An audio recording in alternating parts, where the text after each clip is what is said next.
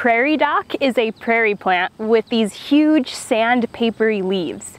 If you sandwich your hands on a prairie dock leaf, it will feel cool to the touch.